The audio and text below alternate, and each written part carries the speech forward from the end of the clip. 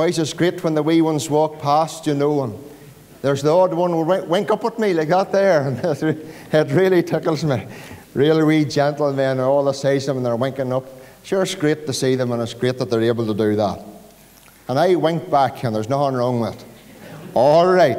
Now let's turn again. This, let's turn this morning to the Word of God, and we're turning to Matthew's Gospel, please. And we're turning to chapter 18, the Gospel of Matthew, chapter 18. As the Lord drew my thoughts and attention to this portion this morning, I could see that the Lord wants to speak to us concerning a very common problem. It's a very common problem a common problem that all too often has become a serious problem. So serious this morning that even the very devil has wreaked havoc because this problem wasn't dealt with properly. You know, that's why so many problems take place because they don't be dealt with properly. Many have faced this problem. I have. Many will face this problem. I'm sure we all have, or we all will. But perhaps there's someone here this morning and you face this problem. The longer I spent at this passage, God the Holy Ghost brought my mind, drew my mind, my thoughts, my heart, my soul to this portion like a magnet. And I believe it's God's message for someone here this morning. And remember, it's God's message, not my message. It's God's message. And as I read this portion this morning, down it was Tuesday when the Lord revealed it to me, I found myself asking this one question. And it's this one question this morning is the title that I'm placing upon God's message. What if I've been wrong? What if I, I have been wrong? And I have been wronged by a fellow believer. It's a common problem. But all too often, child of God, it has become a serious problem. Why? Because it hasn't been dealt with properly. Wonders there's someone here this morning and you have been wrong. And you've been wronged by a belief. You know, this morning, child of God, believers shouldn't wrong one another. But they do.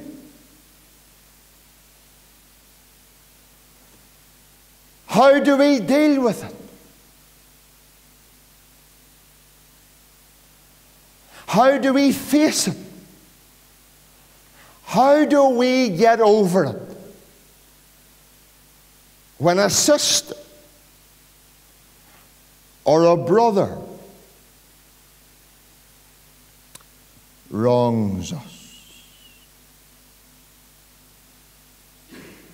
Matthew's Gospel this morning, chapter 18. The Lord Jesus answers the question.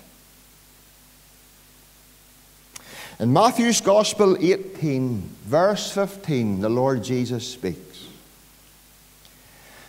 Moreover, the Lord Jesus says, If thy brother shall trespass against thee, Go.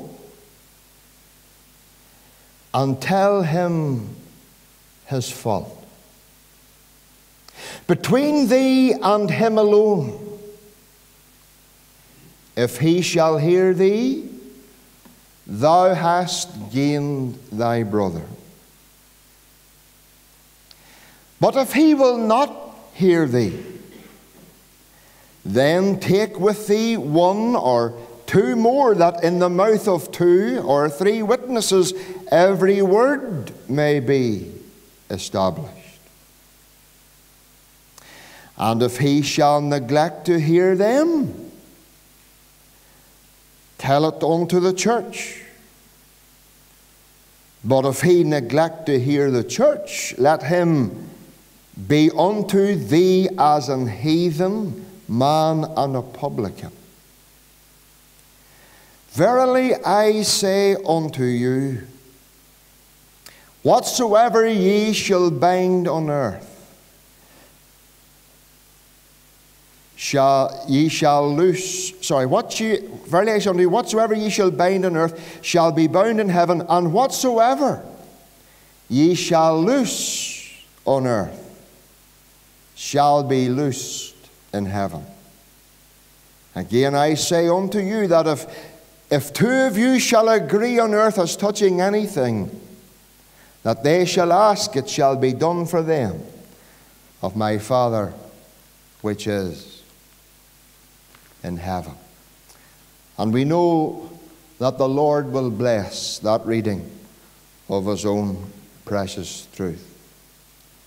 What if I've been wrong, wronged by a fellow believer, what do we do? What course of action should we take? What is the best way forward?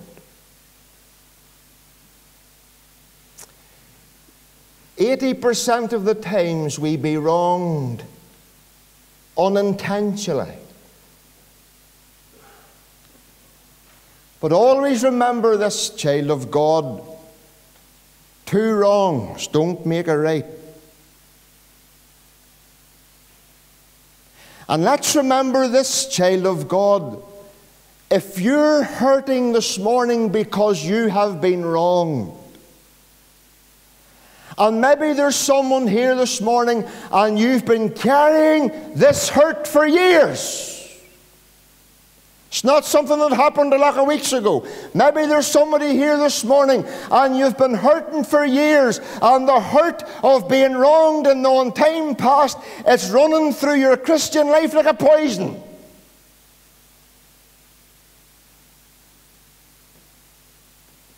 You remember this, child of God. The pathway back to happiness is never paved with hate. You remember that. And the road to reconciliation is never paved with revenge. No.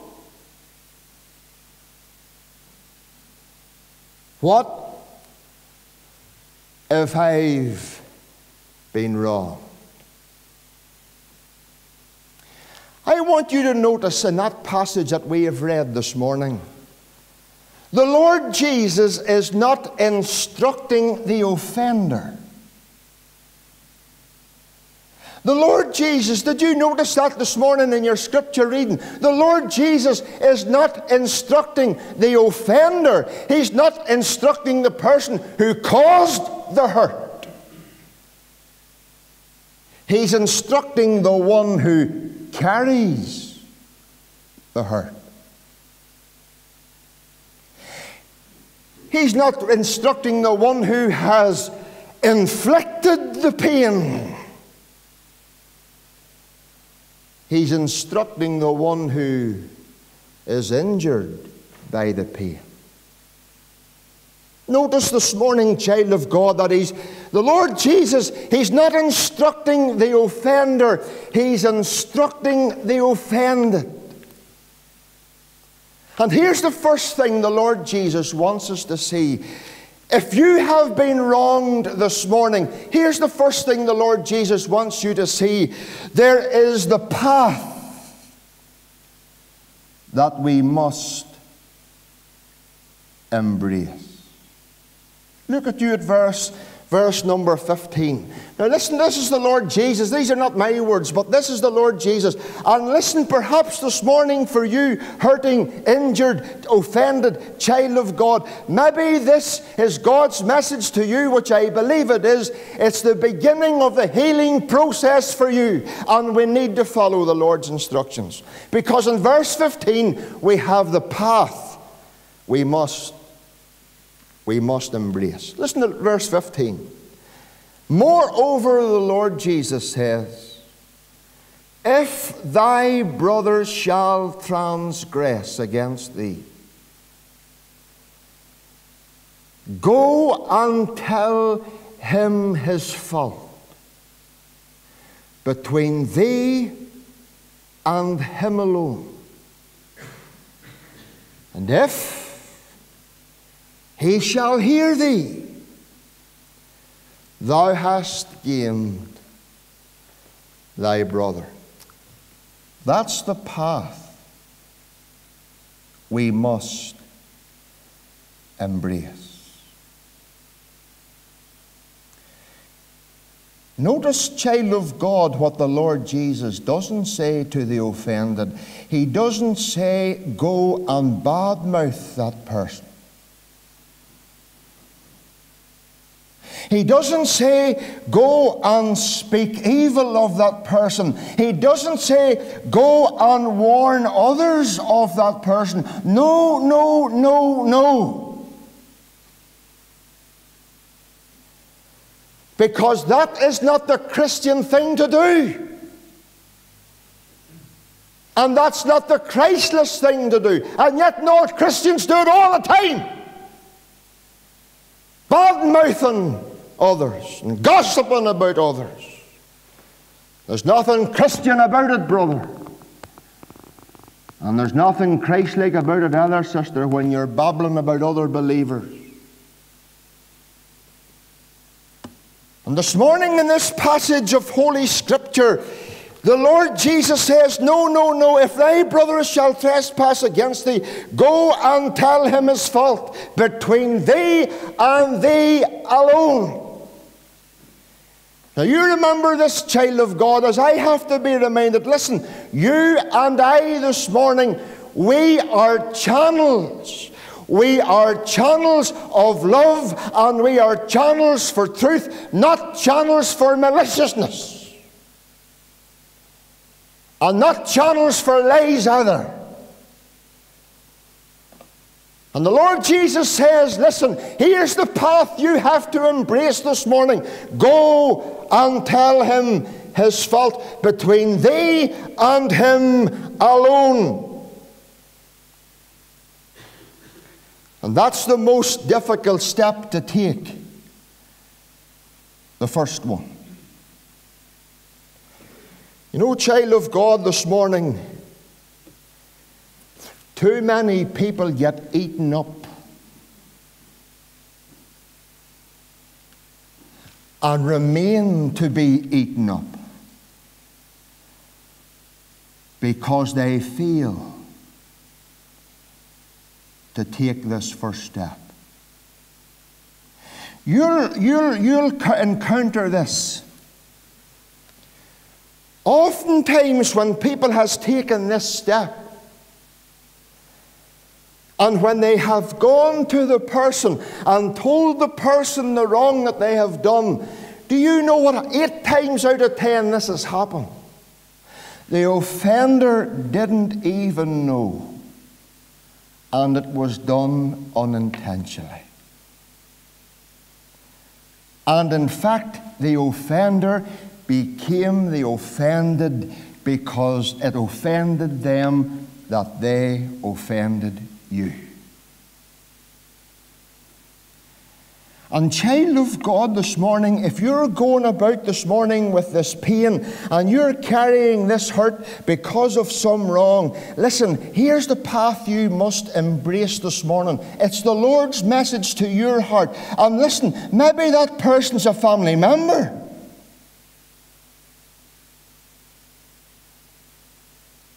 Or maybe that person belongs to this fellowship. I don't know, but listen, it's none of my business to know, but God knows, and you know this morning who the offender is.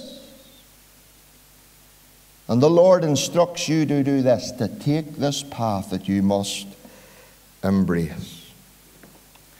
Look at, first of all, the need of this path. Go and tell him his fault. I remember dropping into a house one time, oh, a number of years ago now, and dropped in for a bit of crack. And all of a sudden, this man's wife says to him, Tell me this, are you not going to tell George about a problem that you have? And I didn't know what the problem was. When somebody says you're going to tell somebody about the problem, at that time you just don't want to know what's going on. The person shared me with the problem, and it was against another, another brother in the Lord. And with this brother, you could almost see the rage. He says, How do I get over this? How do I deal with this? I says, You deal with it the way the Lord Jesus tells us to deal with it. There is a path we must embrace, and that is, as I shared with this brother, go and show him his fault.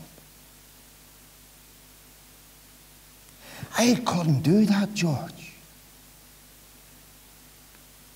George, I, I couldn't do that. Well, he says it's either you suffer the hurt or you get over the hurt by following the Lord's guidance. He did. And the offender was so sorry for the way in which he thought he had offended him. And reconciliation took place. Listen, do you see when you go to tell your brother or your sister their fault, you're not going to war with them. You should never get that into your mind. You're going with a purpose to win them. The path we must embrace. Look, secondly, because the Lord Jesus speaks of a problem that we may encounter. Did you notice verse 16? Look at verse 16. He says, But if he will not hear thee, that's the problem we may encounter. You see, this morning, there's brethren and there's sisters this morning who suffer from a wee disease, and we all can suffer from this disease, and it's called spiritual pride. And it's a kind of a disease that causes us to rebuke those who challenge us. There's the problem we may encounter. Because you see, child of God, that person that you may go to, they might not just see it as an offense. In fact, they will see it as an offense because you have went to them.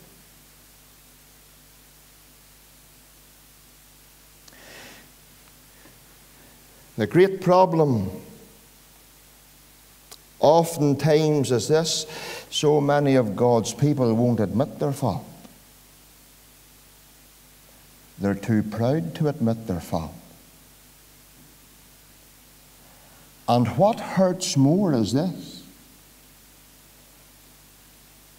because they hurt you and they won't admit their fault, and perhaps this is where you are this morning. You've gone to that brother,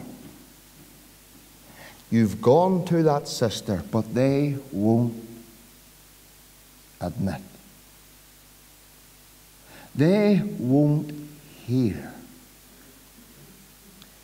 A person like this child of God shows to us how spiritual they really are.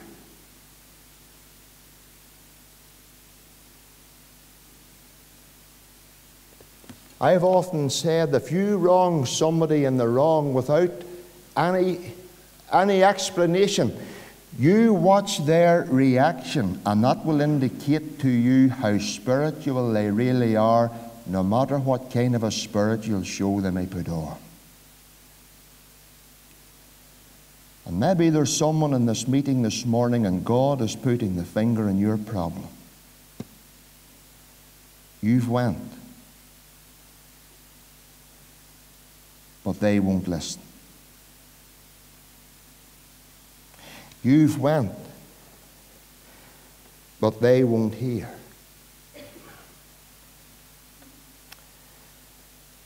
And yet they break bread.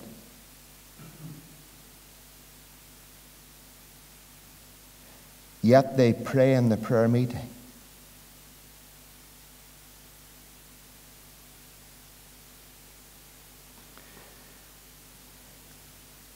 What if I am wrong? What do I do in this case?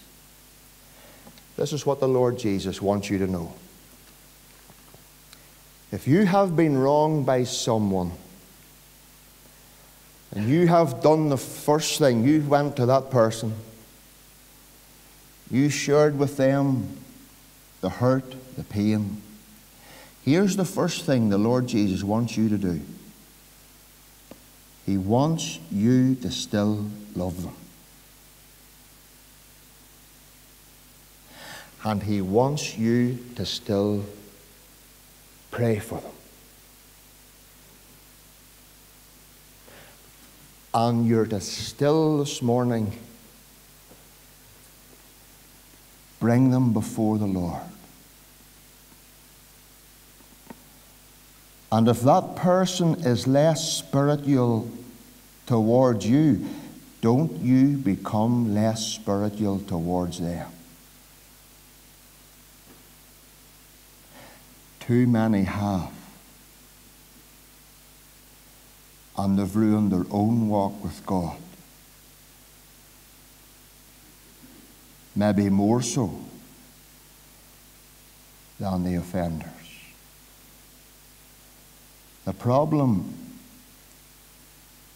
we may encounter. But if thy brother, as it says there, will not hear thee,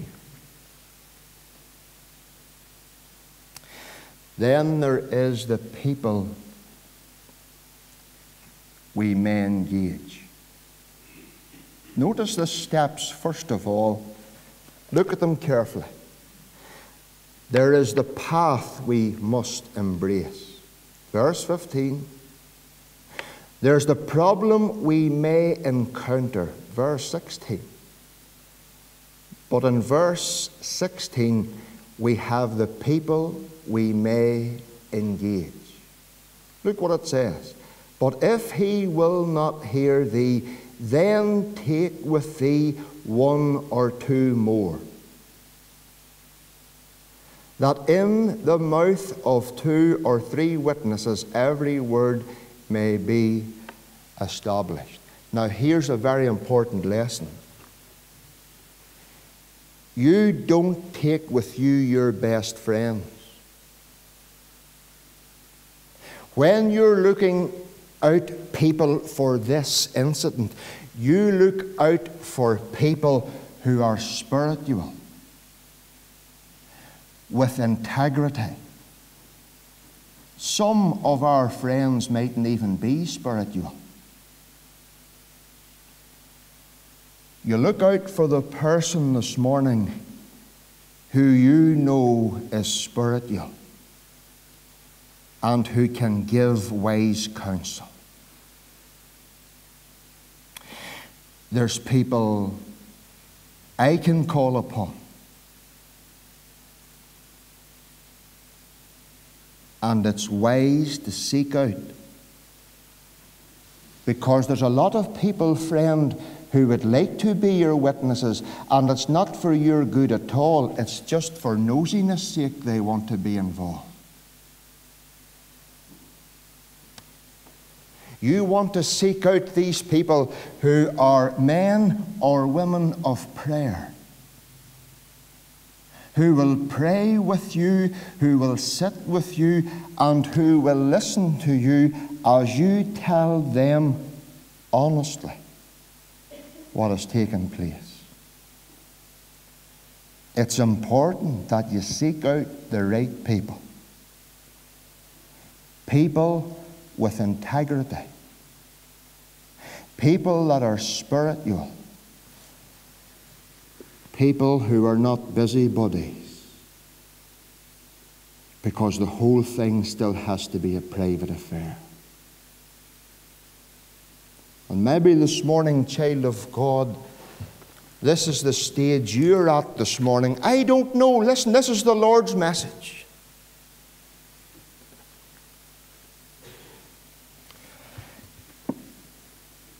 If you've been wronged and you've tried time and time again, seek out two people who are spiritual men and women of prayer, men and women of integrity, men and women of honesty, but most of all, men and women of humility.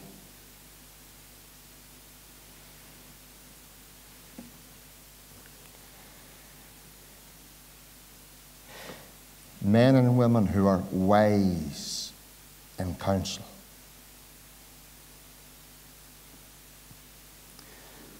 Paul said in 2 Corinthians chapter 13 verse 1 in the mouth of two or three witnesses shall every word be established. And listen, child of God, the reason why you're bringing the two or three witnesses is this it's not to prove the offender wrong, it's to prove you're right. You remember this child of God in a scenario such as this, we're called to win our offender. Too many Christians love to go to war with one another, and it's wrong.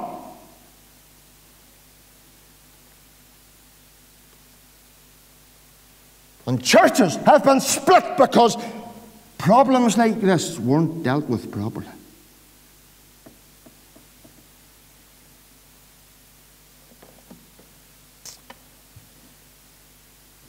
What if I've been offended?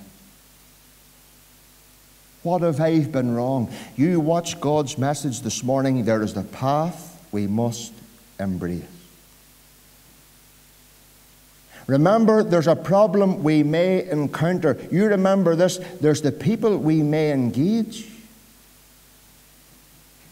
Fourthly and finally,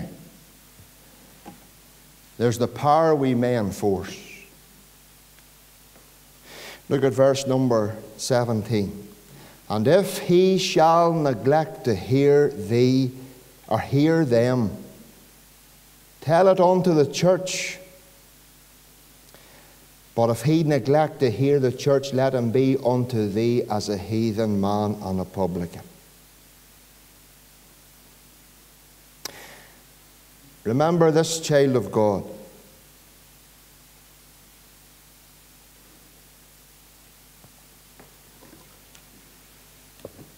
Everything must be done in love and everything must be done in humility. Do you remember what Paul said to the Galatians 4 and 1? Brethren, if any man or a brother be overtaken in a fault, Ye which are spiritual, there you have it. Ye which are spiritual, restore such an one in the spirit of meekness, considering thyself, lest thou also be tempted.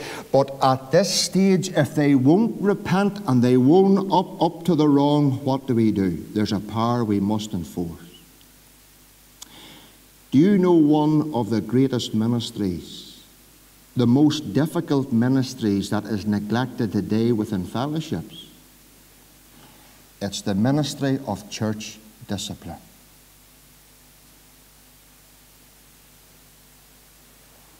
But here's what I have against church discipline Too many boys make church discipline into almost a Nazism nature. The delight in it. Church discipline must be done with love, with prayer, and with humility.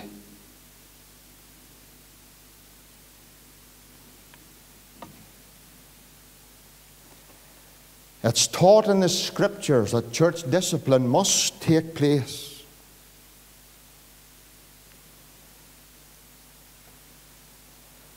And the problem is, the problem is,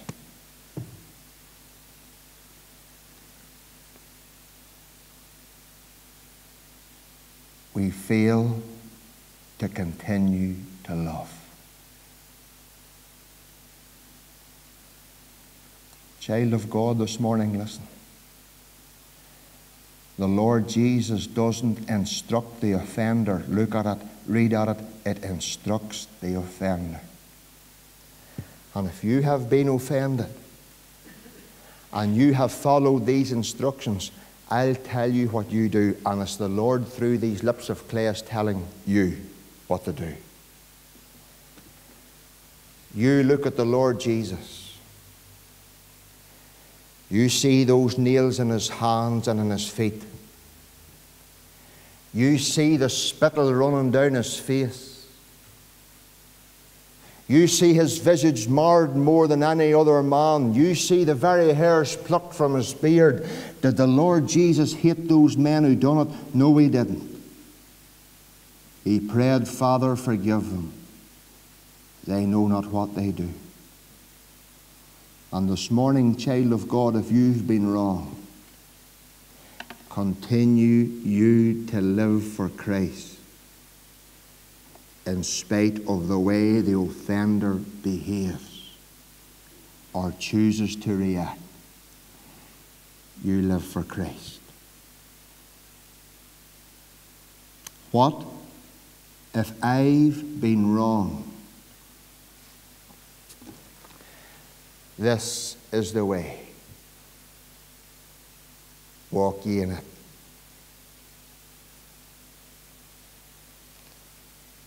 Let's seek. Let's seek this morning to win our offenders and to love them and to pray for them, never to dislike them or never, ever to hate them. Love them. And may God, by His grace and His counsel, seek us to do that this morning for His name's sake.